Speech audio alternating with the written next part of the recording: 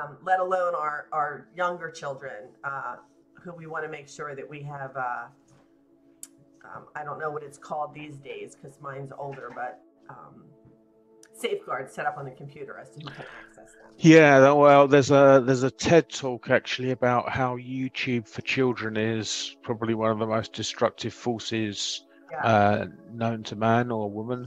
Um, but yeah, I just wanted to Gregory, just because of the HR specific headhunting and that that Gregory's uh, old baby, can Yeah, you that's speak how to? I encountered it, Gregory. Somebody, and how often do we get that?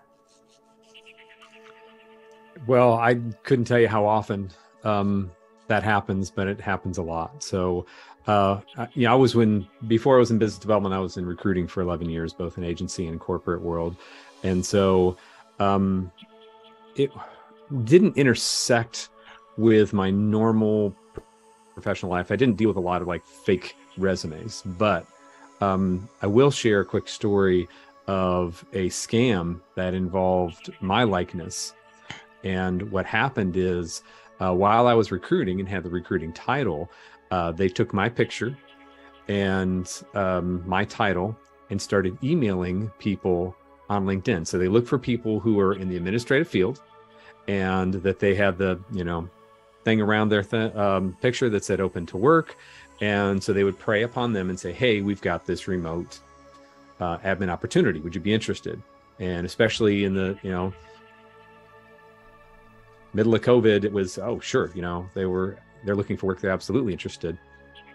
And the first clue that something was awry was that the interview was an email interview.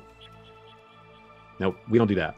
Recruiters do not do interviews over email. That's highly regular, and it's not a very good way to get to know somebody or chat or anything like that. You know, we want to speak to people at least on the phone in real time to get a feel for who they are and their personality, see if they might be a cultural fit as well as a you know skill-wise fit.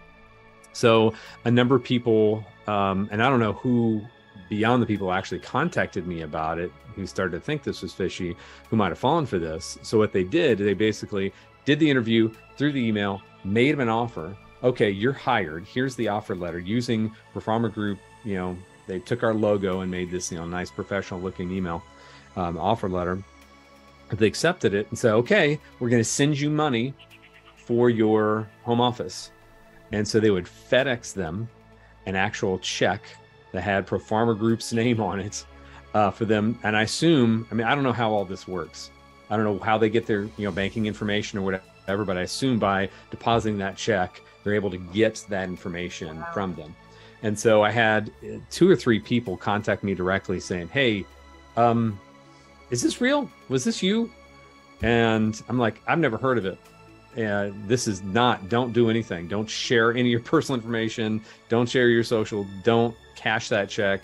Uh, please share as much of that information with me so I can send it to our security."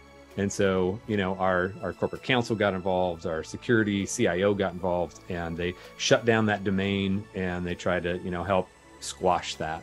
And they actually put it on the website for a while that hey, if you're getting these types of uh, advances from recruiters, it's not true.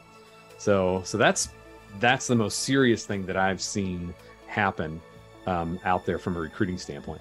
Okay, uh, Robin. Um, I, it's taken a while to come round to you, but you were the person whose po- whose post I first saw. If any of you, uh, you can all share screen. So if you pull up one that you know is live currently, we can out him uh, or her uh, here and now. Robin, take us through your thinking.